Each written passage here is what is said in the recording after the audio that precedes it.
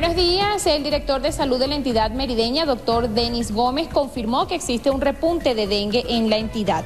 Por tal motivo, pidió a la comunidad su colaboración para la eliminación de criaderos. Existen 337 casos positivos de 457 muestras que fueron analizadas. Afirmó que desde salud ambiental y epidemiología se están visitando los sectores más vulnerables para orientar a los habitantes y así evitar mayores casos. Desde el estado Mérida, Raquel Alarcón, Noticiero Benevisión.